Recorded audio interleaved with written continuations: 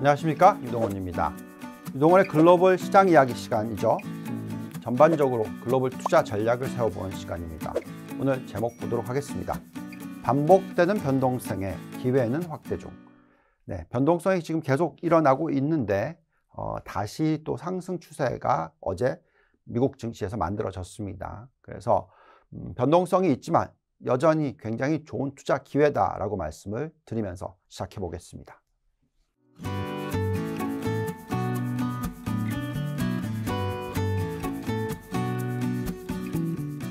네, 지난 2주간의 흐름을 놓고 보시면은요. 지난주에도 이렇게 하락을 했었고 어, 전주에도 하락을 하는 모습을 보여줬었죠.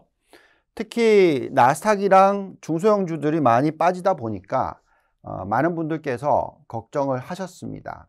음, 특히 어, 오미크론이라는 이슈 그리고 또 미 연준의 테이퍼링의 속도가 빨라지는 부분 어, 매파적인 발언들 이런 것들을 다 집어넣고 어떻게 보면 성장주를 던지는 모습까지도 나왔었습니다. 그래서 어, 많은 의견들이 성장주를 팔고 가치주를 사야 된다 뭐 이런 의견까지도 나왔었지만 어쨌든 지금 이 흐름 자체를 잘 이해해야 되는 부분이 앞으로 음, 과거 1998년 말부터 2000년 초까지 일어났던 닷컴 버블의 재현 가능성이 계속 지금 확대가 되는 그런 시나리오를 쓸 수가 있습니다. 그래서 너무 성장주에 대해서 지금 버리고 가치주로 넘어가자 이 전략은 안 된다라고 말씀을 드리겠고요. 결국 성장주와 가치주 중에서 어떤 종목이 중요한지가 지금 현재는 그걸 판단하는 시기다라고 말씀을 드리겠습니다. 자, 이렇게 어, 변동성이 확대가 되다 보니까 여기에 나와 있듯이 빅스 지수가 이렇게 치솟았습니다. 30을 돌파하는 모습을 보여줬죠. 자, 이런 식으로 50% 이상의 폭등 시나리오들이 가끔씩 이렇게 나오죠. 이렇게. 이런 식의 급등하는 현상들이 나오는데 중요한 것은 그 급등을 하고 나서의 그 이후의 시장의 흐름을 보는 게 중요할 것 같습니다. 자, 여기에 나와 있죠. 과거에 보시면은 어, 얼마나 이 급등을 했느냐. 40%대부터 40% 이상 급등을 하는 쭉 봤을 때 100%까지 급등을 하는 이런 모습을 보여줬던 그런 시기입니다. 하루에 빅스의 어, 스파이크, 그러니까 올라가는 거죠. 지난주 금요일 나타난 현상이 있죠.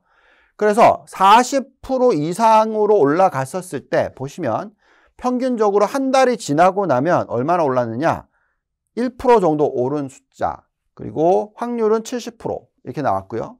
3개월 뒤에는 얼마나 올랐느냐? 5% 올랐고요. 확률은 75%더 올라가죠. 3개월 뒤로 보시면. 6개월로 보시면 자그마치 11%가 오르고 80%의 확률로 올라갑니다. 그죠? 더 중요한 건 12개월 봤었을 때 20% 상승에 95% 확률이라는 겁니다. 그럼 지난주 금요일 날 종가 대비해서 앞으로 1년 뒤를 봤었을 때 얼마나 올라갈 수 있다? 20% 얼마 정도의 확률로서 네. 95% 네. 자, 이런 생각을 한다면 이렇게 변동성이 올라간 것이 얼마나 좋은 기회가 되는지를 알 수가 있겠습니다. 자, 근데 좀 변화가 있는 부분도 인식을 해야 되니까 이런 얘기를 좀 시작해 보겠습니다.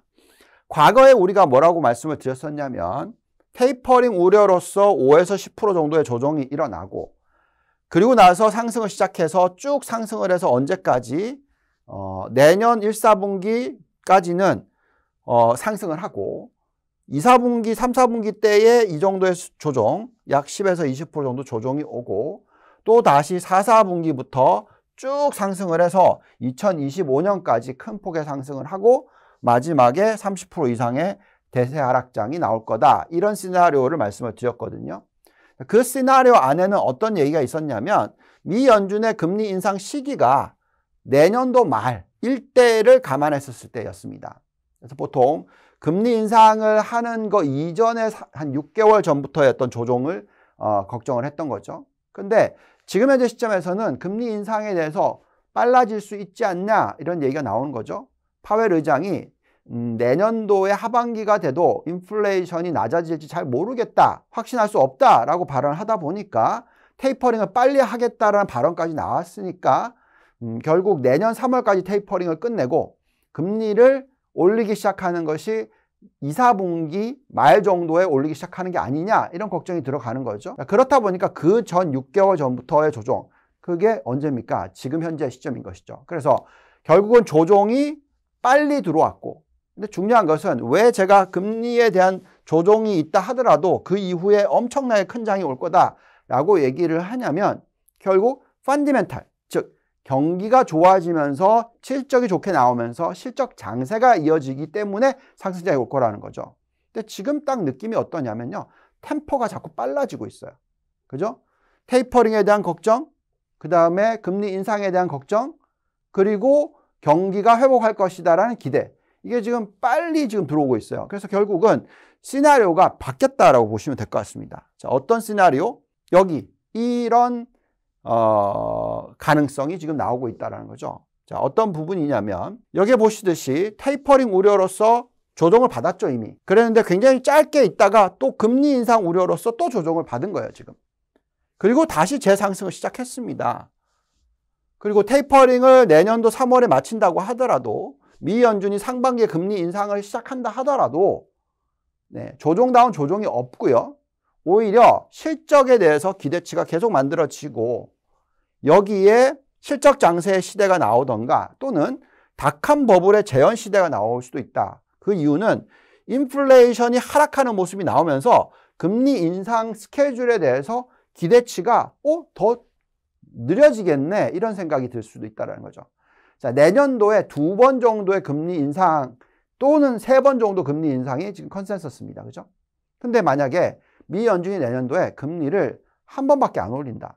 이런 시나리오가 나와버리면 사실 dot-com bubble의 재현 시대가 나올 수도 있어요. 왜냐하면 지금 중국 쪽에서는 유동성을 풀고 있기 때문에 그렇습니다.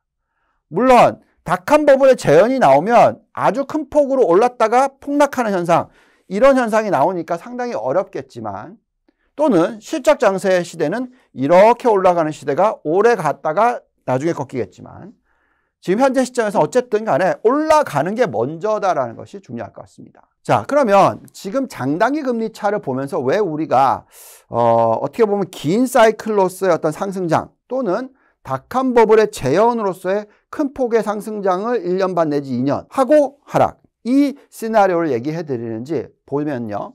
지금 10년 마이너스 2년 국채 금리의 장단기 금리 차가 큰 폭으로 하락을 했었죠. 급격하게 하락했었습니다. 그죠? 왜? 오미크론 때문에 경기가 둔화될 거다. 여기에 미연준은 금리를 올릴 거다. 이런 걱정으로서 떨어졌어요. 그렇지만 이게 떨어진 게 다시 반등을 하고 안정을 찾잖아요. 그러면 이때가 엄청나게 큰 상승장이 오는 겁니다. 자, 보실까요? 지금 아까 말씀드렸듯이 2년 국채 금리가 상승을 하는 추세. 이건 이제 미 연준의 금리를 올리는 시나리오예요. 그렇기 때문에 장단 금리 차가 떨어진 거죠. 그렇지만 다시 장기금리가 올라가거나 단기금리가 올라가는 수준이 같은 수준이라 돼버리면 안정을 찾게 되죠. 장기금리차 축소가. 그렇게 되면서 시장은 올라갑니다. 자, 보실까요? 언제? 1994년 12월 이때, 지금이 12월이잖아요. 비슷하게 보시면 급격하게 훅 빠졌어요. 11월 달에. 그리고 나서 바닥을 찍죠. 그리고 나서 안정을 찾죠.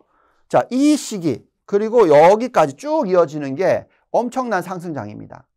이게 길게 본 시나리오이고요. 여기에 지금 보시면 어, 어떤 지금 환경이냐면 아까 보셨듯이 94년, 95년이잖아요. 보시면 그때처럼 이렇게 금리를 올리는 게 나왔었어요. 그죠? 그랬는데 헝다 사태하고 비슷한 지금으로 따지면 헝다 사태인데 그때는 금융위기, 그죠? 금융 위기가 얘기가 나오면서 여기 보시면 금리를 또 내리는 현상이 나왔단 말이죠. 중요한 것은 그 전에 보시면은 올렸다가 내렸다가 올렸다가 또 내리는 이런 식의 헷갈리는 전략이 나왔어요. 그죠? 왜, 왜이 시대가 그랬냐? 인터넷이 들어오면서 인플레이션을 낮춰주는 효과에 대한 기대치들이 만들어졌었기 때문에 그렇습니다. 지금은 4차 산업혁명에 의해서 인플레이션을 낮춰주는 효과들도 있다. 여기에 인플레이션이 들어오고 있으니까 이게 헷갈리는 숫자들이 자꾸 나올 수가 있어요. 자, 그래서 저는 미 연준이 쭉 빠르게 금리를 올리기보다는 이런 식의 어떤 왔다 갔다 하는 시나리오가 나올 수 있거나 아니면 아예 금리를 올리는 것이 굉장히 천천히 올리는 시나리오가 나올 수 있다고 생각이 듭니다. 물론 이 시나리오가 나올 수도 있어요. 그러면 그게 이제 어떻게 보면 닷컴 버블의 꼭지가 나오는 시나리오가 나올 수도 있겠죠. 근데 그 전에 금리를 내렸고 올리는 현상이었기 때문에 이게 닥한 버블을 가져다 줬습니다. 자, 그래서 그때 아, 아까 보시면 94년도 그때 보시면은 지수가 금리 인상 관련된 우려 그리고 장단금융차의 축소에 대한 우려 때문에 이렇게 살짝 6.7% 하락을 했어요. 12월 달까지 8.7% 하락을 했어요. S&P와 나스닥입니다. 자, 그리고 나서 얼마나 급등을 했는지 보실까요? 50%나 급등을 하죠. 1년 조금 넘는 기간 동안에 S&P가 그 다음에 지금 보시면 나스닥 같은 경우에 훅 올라가서 57%, 58% 올라가죠. 그러니까 결국 나스닥이 좀 더 많이 올라갑니다. 어쨌든 이, 이 시나리오는 뭐냐면 장기적으로 길게 지수가 올라가는 시나리오로 생각하시는 거예요. 지금 현재 보시면 S&P 500이 5.2% 하락을 했고 나스닥이 7.9% 하락을 하고 나서 어제 급반등이 나왔어요. 그래서 아까 보여드렸던 94년도 말부터의 반등 시작 이 비슷한 모습이 될 수도 있고요. 그렇지 않으면 이때하고 비교할 수도 있어요. 이게 뭐냐면 장단금리차가 역전이 됐다가 다시 올라갔었어요. 괜찮아지는 줄 알았는데 또 다시 급격하게 빠졌어요. 요게 12월 그죠? 그리고 나서 어 안정을 찾나 보네 이렇게 갔습니다. 자 우리가 지금 보면 코로나19가 터지기 전에 이렇게 장단금리차 약간 역전됐었어요. 그리고 코로나19 이후에 급격하게 올라갔었습니다. 그리고 나서 쭉 빠져서 지금 현재 0.7까지도 0.7이 살짝 깨지는 수준까지도 내려왔었죠. 그리고 나서 다시 상승을 하는 추세가 지금 나오고 있어요. 자, 여기에 미 연준은 이때는 금리를 내렸죠. 근데 미 연준은 금리를 내리는 게 아니고 누가 금리를 내리고 누가 유동성을 풀고 있죠? 중국이 풀고 있습니다. 자, 그래서 이 구간의 닷컴 버블 구간이에요, 이게. 이 시나리오가 나올 수도 있다라는 거죠. 그렇죠? 그렇다면 얼마나 이때 상승을 했는지를 다시 봐야 되겠죠. 보시면 S&P는 68%만 상승을 했고요. 나스닥은 278%나 상승을 했어요. 자, 그래서 이제 우리가 무슨 말씀을 드리는 거냐면 1994년도에 12월하고 비슷할 수도 있고 또는 1998년 12월이랑 비슷할 수도 있다는 겁니다. 그것은 어느 정도의 유동성이 부여되면서 어느 정도의 거품이 끼는지를 보면서 판단을 하면 된다는 거죠. 중요한 것은 올라가는 속도라는 거죠. 만약에 정말 이런 식으로 1년 반 동안에 폭등을 해버리면 그게 거품인 거고 그리고 끝나겠죠. 그렇죠. 그게 아니라 아까 94년도 말부터 보여드리면 50% 60% 올라가는 장이 나왔다. 그건 폭등이라고까지는 할 수 없죠. 왜? 닥한 버블은 이 정도로 올랐으니까. 그렇죠? 그래서 중요한 것은 어쨌든 간에 지금 현재 시점에서 앞으로 얼마나 더 올라갈지를 예상했었을 때 1년 뒤를 봤었을 때 아까 빅스가 갑자기 튀었으니까 그 이후에 1년 뒤에 20% 올라갈 확률이 상당히 높다라고 나온 것처럼 앞으로 20% 정도 올라가는 장은 충분히 나올 수가 있다는 거죠. 그래서 1년을 들여다봤을 때 미국 증시의 나스닥에 대한 투자가 계속적으로 지금 저가 분할 매수가 이루어져야 된다는 시기라는 말씀을 드린 겁니다. 자, 보면 그 긴 사이클 94년 말부터 2000년 닷컴 버블이 붕괴될 때까지의 시나리오를 한번 보시면은요. S&P가 250% 상승을 했고 그죠? 나스닥은 자그마치 621%나 상승을 했어요. 지금하고 한번 비교해 볼까요? 나스닥을. 우리가 성장주를 계속 좋아하다 보니까 621%, 622% 상승을 했는데 우리는 지금까지는 285% 상승을 했습니다. 그 다음에 닷컴 버블이 일어나는 시기와 비교하면 278% 상승을 했고 우리가 만약에 그때 시기를 코로나19하고 비교를 한다면 144% 상승을 했단 말이죠. 그러면 결국 이것과 이것을 비교해보고 144%와 278%로 비교해보고 621%와 285%하고 비교를 해보면 아직까지 훨씬 더 많이 상승을 해야 된다라는 결론이 저희 나오는 거죠. 자, 근데 이건 그냥 차트를 보고 그때하고 비교하면서 꼭 똑같이 갈 수 있냐 말도 안 된다 이렇게 얘기하시는 분도 많아요.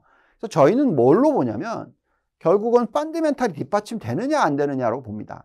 그래서 현재 시점에서는 여기까지 올라왔으나 펀디멘탈적으로 아직까지 너무나 싸 보인다라는 게 저희의 시각입니다. 자, 그 다음에 닥한 버블이 만들어졌을 때의 한번 시나리오 볼까요?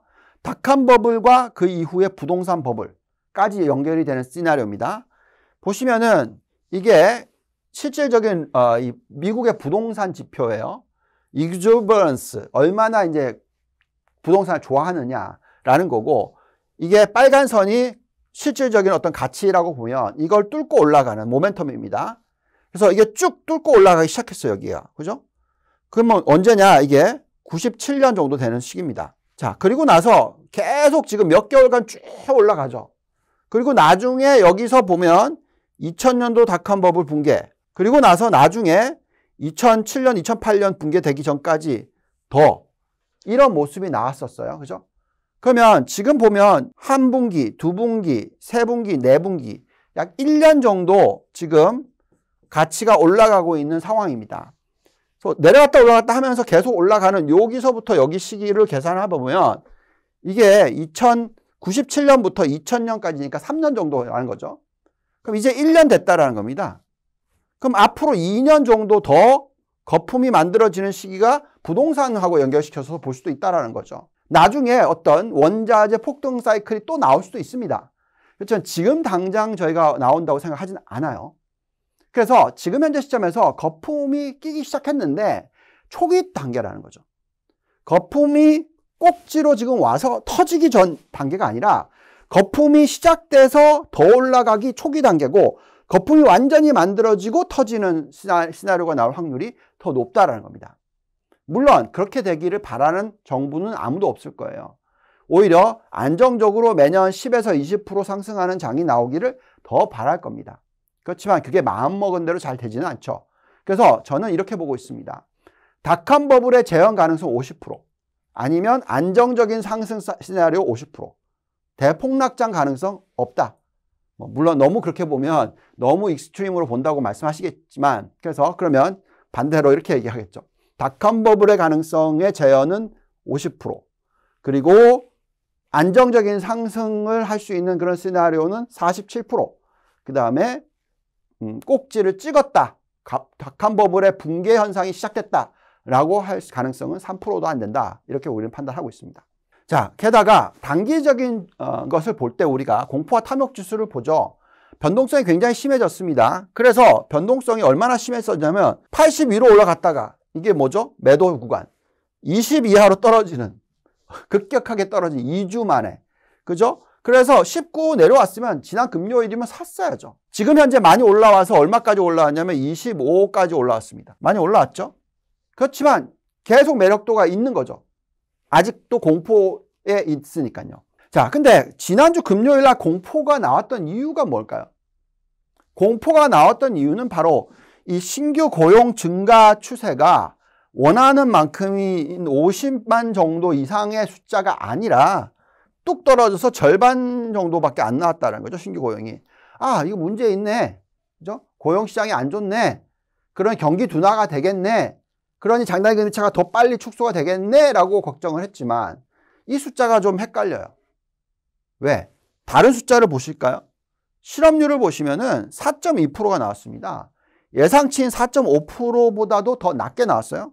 그리고 과거에 제가 거품이 붕괴되기 전까지로 계산을 한다면 실업률이 닷컴 버블 때는 4% 미만까지 떨어지고 어느 정도 유지가 됐었을 때 터졌다. 아직 4.2%입니다. 여기하고 비교하면 어, 얼마 안 남았을 수도 있다 생각할 수 있죠. 또는 산업재 버블은 4.4% 미만이니까 더 밑으로 떨어졌어요. 아, 그럼 이제 터져야 되겠네 라고 생각하실 수도 있습니다. 그렇지만 4차 산업혁명 아래에서의 완전 고용이 언제까지? 3.5%까지 떨어졌었죠. 근데 지금 4.2%니까 거리가 멀죠. 그죠? 계속 떨어지는 추세가 나왔고 시장은 계속 상승을 했으니까요. 자, 그렇다면 중요한 것은 그때와 비교할 때 실업률만 보면 되느냐? 아니죠. 노동 참여율도 같이 봐야 된다는 거죠. 아까 말씀드렸던 닷컴 버블 때는 67.2%였고 노동 참여율이 그 다음에 산업재 버블 때는 66.4%였고 지금은 코로나19 터지기 전까지는 63.4%였고 지금은 61.8%라는 겁니다. 그리고 중요한 건 이렇게 올라갔어요 살짝. 근데 실업률이 떨어졌어요. 근데 고용이 잘 안 나왔어요. 이게 좀 이해가 안 가는 숫자죠. 그렇지만 저는 그런 단기적인 고용 숫자를 보지 말고 이런 노동 참여율과 실업률을 보면서 판단하는 게 더 중요하다 생각합니다. 중요한 것은 어쨌든 61.8%밖에 안 되는 노동 참여율의 4.2%의 실업률이라는 거죠. 자, 그렇다라는 것은 이거는 꼭지가 아니라는 얘기입니다. 아직까지도 이 고용시장이 더 나아질 룸이 많이 남아있다라는 거죠. 그래서 미 연준이 그럼 금리를 빠르게 올릴 거냐? 그렇게 저희는 판단하지 않고 있다는 거죠. 따라서 지금은 닷컴 버블의 재현의 가능성이 아직까지는 많이 남아 있다라고 생각하는 겁니다. 자, 여기서 또 중요한 것은 임금 상승률이 급격하게 떨어져야 되는데 그래야지 장단기 금리차가 훅 빠지고 계속 빠지는 현상이 나오면서 끝 이렇게 될 수 있는데 그게 아니라 임금 상승률이 이렇게 높게 나오고 있어요. 임금 상승률이 5%대 이상이 나오고 있습니다. 그렇다면 장단기 금리차가 떨어지긴 하지만 떨어졌다가 다시 안정을 찾고 옆으로 기는 현상이 나올 수가 있어요. 왜? 경제 성장률이 이익 증가, 이 임금 증가율만큼의 수준에 반영이 될 거라는 거죠. 소비가 70%입니다. 미국은 GDP에. 그러면 그게 임금 상승률만큼 성장을 한다. 5%로 계산합시다. 그냥 계산하기 쉽게. 7, 5, 35. 그럼 3.5% 정도는 소비만 가지고도 성장을 한다라는 거예요. 지금 골드만삭스나 다른 데서 얘기를 하는 게 미국 경제 성장률이 원래 예상치가 4.2%였는데 3.6% 떨어뜨린다라고 얘기를 하죠. 미니멈이라는 거면 미니멈. 더 나올 수 있어요. 여기에 뭐, 뭐가 더 나올 수 있나요? 바로 재정을 풀어서 인프라 확대를 하고 여기에 뭐 반도체든 여러 가지 신성장 산업 관련해서의 투자가 일어나면 이 성장률보다는 더 높게 나올 수도 있다라는 겁니다. 자, 그런데 장단기 금차가 폭락을 한다고요? 계속 폭락을 할 거라고요? 그렇게 보여지지는 않는다는 거죠. 그래서 제가 볼 때 이런 환경에서는 오히려 아까 말씀드렸듯이 닷컴 버블의 재현이던 아니면 그 전 사이클의 재현이던 어, 비슷한 모습이 앞으로 지수가 상승할 수 있는 쪽에 더 초점을 맞춘다라는 말씀을 드리겠습니다. 자, 또한 이걸 뒷받침하는 부분이 여신 증가율에 있어요. 여신 증가율이 8% 나오는 환경에서는 경제 성장률이 급락을 하지 않습니다. 아무리 오미크론이라고 하더라 하더라도 오미크론의 만약에 치사율이 낮다라는 얘기가 나오게 되면 결국은 경제 성장률이 이 여신 증가율과 맞물리면 아마도 4%대 성장률이 나올 수가 있다라는 거죠. 자, 그렇기 때문에 우리는 지금 현재 시점에서 너무 비관적으로 시장을 보시면 안 된다라는 얘기를 또 해드립니다. 여기에 만약에 신성장 산업까지 들어가면서 지금 4차 산업혁명이 정말 이제 가시화되는 것들이고 따라서 지금 4차 산업혁명 버블이 시작되는 거다. 닷컴 버블의 재현이 아니고 훨씬 더 큰 버블이 재현되는 거다라고 생각하실 수 있는 부분이 이런 숫자에 나온단 말이죠. 비제조업 PMI가 자그마치 69.1이 나왔어요. 역대 최고치입니다. 올라가는 속도를 보십시오. 자, 그래서 우리는 지금 현재 시점에서 엄청난 변화가 일어나고 있어요. 오미크론에 대해서 보면 코로나19 플러스 오미크론이 가져다 준 시대. 얼마나 빠르게 변하고 있는지 우리가 피부를 느끼지 않습니까? 그죠? 앞으로 계속해서 이 AI, 4차 산업혁명, 그죠? 이 IoT, 이걸 연결시키면서의 어떤 성장, 정말 대단한 성장이 오지 않을까? 그런 부분에 있어서. 그렇지만 이건 오히려 인플레이션은 낮춰주는 효과를 가지고 온다라는 부분까지 감안한다면 어떻게 보면 그게 버블로 이어지는 가능성이 있다라는 거죠. 자, 여기에 그러면 미국이 빠르게 유동성을 줄이고 있느냐? 그렇지 않아요. 미국과 중국이 자꾸 견제를 하다 보니까 계속해서 풀고 있는 부분이 나오고 있습니다. 미국의 유동성 증가율은 M1이 15.8%더 이상 안 빠지죠. 이렇게 떨어지지 않죠. 옆으로 기죠. 옆으로. M2 증가율 13% 통화의 속도도 이 차이가 그렇게 크지 않으니까 좋죠. 옛날에는 이렇게까지 벌어졌었는데 요 정도잖아요. 효율도 괜찮아지고 있어요. 여기에 지금 미국의 상업은행들의 지금 예금을 보십시오. 얼마나 성장을 하는지. 이, 이런 숫자가 나오고 있는데 뭐 거품이다? 터진다? 저는 거기에 동의를 할 수가 없다라는 거죠. 자, 그래서 우리가 유동성만 놓고 봤었을 때 유동성 지표로서 시가총액과 M2로서 비교를 했었을 때 과거의 닷컴 버블 시기와 산업재 버블 시기를 같이 보고 우리가 상승 여력을 계산해 보면 이런 숫자가 나옵니다. S&P 500 5천 나스닥 16,400 이런 정도 숫자가 나옵니다. 그럼 아직까지 어제 올랐으니까 뭐 한 10% 정도 미만의 상승 여력이 남아 있다고 나오죠. 근데 과거의 나스닥과 S&P의 고점이 다 틀려요. 그래서 나스닥은 닷컴 버블 때랑 비교하고 S&P는 산업재 버블 때하고 비교했었을 때 이런 숫자가 나옵니다. 14% 정도의 상승 여력이 남아있다 정도가 나옵니다. 근데 중요한 것은 그 M2를 뭘로 썼냐면 지금 현재 M2로써 썼어요. 근데 예를 들어서 지금 이 M2 증가율이 아까 보여드렸듯이 13%씩 증가하고 있잖아요. 그래서 내년 말로 계산해보자. 13% 증가했다고 해서 그걸 더해서 M2로 계산하면 얼마까지 가냐? 17,000포인트 나스닥. 17,500포인트 나스닥. S&P는 5,300포인트, 5,100포인트, 5,200포인트. 이런 숫자가 나옵니다. 얼마나 상승 여력? 18% 정도를 볼 수 있다라는 거죠. 자, 그래서 지금 유동성만 가지고 계산을 하더라도 앞으로 1년 뒤를 계산했더니 18%가 나왔어요. 아까 빅스 지수 이후에 20% 평균. 지금 현재 시점에서 비관적으로 보셔야 될까요? 그렇지 않다라고 생각이 듭니다. 자, 게다가 아까 계속 말씀을 드립니다만 거품이 되려면 펀디멘탈이 뒷받침이 안 돼야 됩니다. 근데 펀디멘탈이 뒷받침이 된다면 그게 거품이 아니라는 거죠. 근데 지금까지는 뒷받침이 되고 있다라고 봅니다. 자, 82%가 예상치보다 더 높은 이익, 74%가 예상치보다 더 높은 매출, 예상치 대비해서 10%나 더 높은 이익, 여기에 이익 증가율은 작년 동기 대비해서 39.8%나 일어났고 매출 증가율은 17.8%. 이 숫자 보고 있으니까 저 깜짝깜짝 놀래요. 엄청난 숫자죠. 이런 실적이 나오고 있는데 뒷받침이 안 되고 있다? 아니요. 너무나 뒷받침이 잘 되고 있다. 그러면 좀 더 나아가서 내년에 대한 예상치, 아, 죄송 4, 4분기에 대한 예상치. 좀 더 나아가서 지금 현재 분기에 대한 예상치를 한번 볼까요?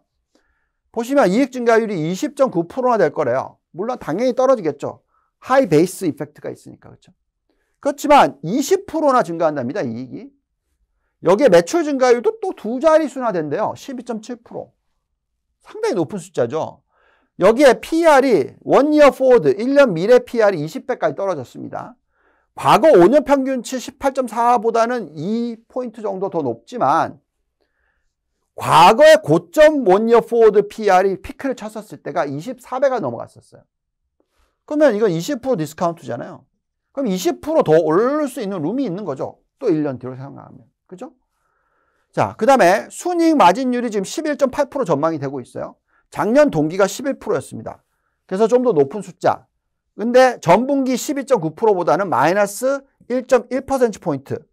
그런데 과거의 전분기, 3분기도 마찬가지로 예상치는 12.1%였었지만 실제는 12.9%가 나왔어요. 8%치, 0.8%포인트나 더 높았습니다. 그래서 지금 11.8%가 나올 확률도 있습니다. 왜? 원자재 가격이 많이 상승을 했으니까. 그렇지만 그것보다 더 좋은 숫자가 나올 확률이 더 높다고 저는 생각합니다.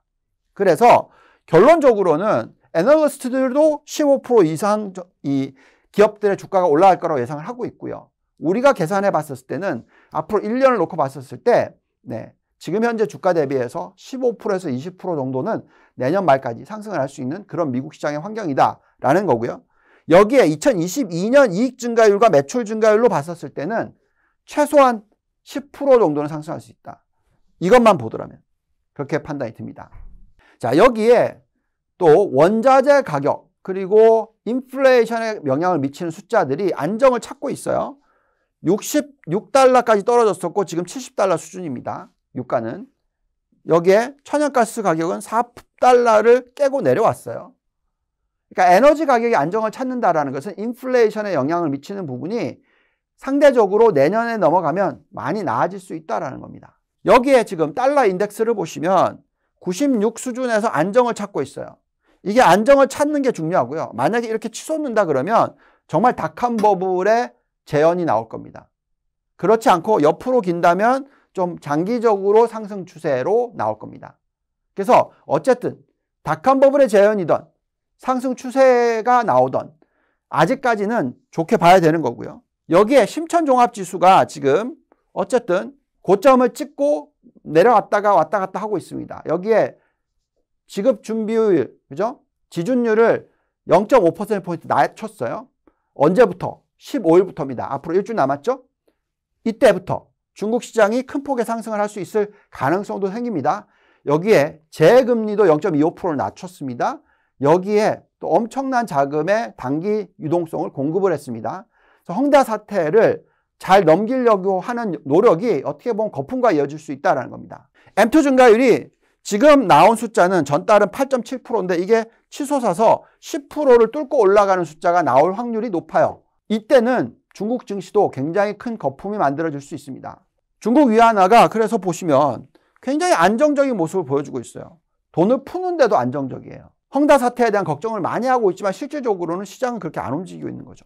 그래서 지금은 어떻게 보면 중국발 거품, 여기에 미국이 금리를 천천히 올려. 이렇게 되면 같이 맞물리게 되면 이게 어떻게 보면 4차 산업혁명 버블이 나올 수도 있다는 거고요.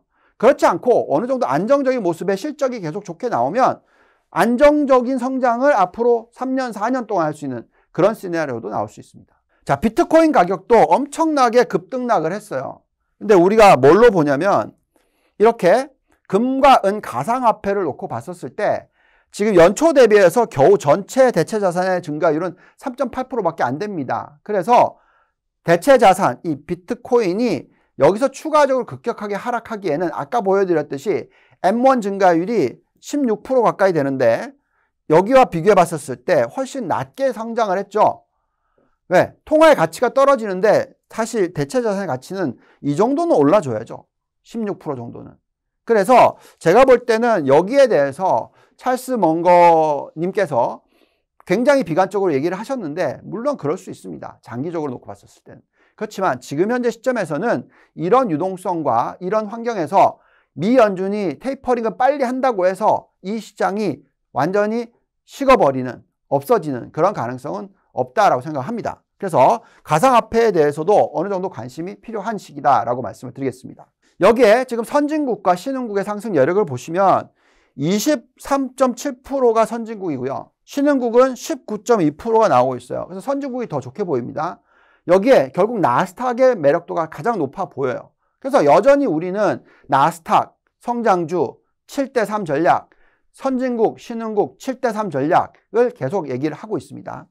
여기에 미국의 대표 13개 종목들, 빵, 마가 뭐 이런 종목들 아직도 상승 여력이 40%가 넘고 ROE가 40%가 넘는데 그렇다면 제가 볼 때는 아직까지 이 대형주 위주의 상승이 아직도 많이 남아있다. 대형 기술주 위주의 상승이 계속 이어질 수 있다라는 부분을 생각하셔야 될 것 같습니다. 대표 ETF를 보더라도 제가 거의 노래를 부르다시피 하는 게 반도체죠, 반도체. 그 이외에 바이오는 좀 힘들었습니다만 좋아 보이고요. 그리고 요즘에 또 신재생 에너지도 좀 힘들었습니다만 다시 반등 시작했습니다. 그래서 우리는 대표적인 성장수 반도체, 그죠? IT 반도체, 그리고 신재생 에너지, 그리고 바이오, 헬스케어 이렇게 말씀을 드리고 있죠. 이 세 개의 업종만큼은 투자를 하셔야 되고 여기서 더 나아가서 전기차, 전기차 배터리, 그죠? 메타버스, 가상화폐 이런 쪽까지도 관심을 가져보시는 게 중요하다 말씀을 드리고 있습니다. 또 다시 말씀을 드리지만 7대3 전략이 중요하다라고 말씀을 드리겠습니다. 자, 그래서 지금 계속 말씀을 드렸습니다만 앞으로 닷컴 버블이 재현이 될지 아니면 성장이 계속 이어지는 어떤 시대가 올지 정확한 답은 없습니다. 그렇지만 제가 알 수 있는 답은 대세 하락장이 시작되지는 않았다라는 결론을 내려드릴 수 있을 것 같습니다. 자, 오늘도 어, 최선을 다해서 앞으로의 시장에 대한 전략을 짜봤습니다. 도움이 되셨길 진심으로 바랍니다. 시청해주셔서 감사드립니다.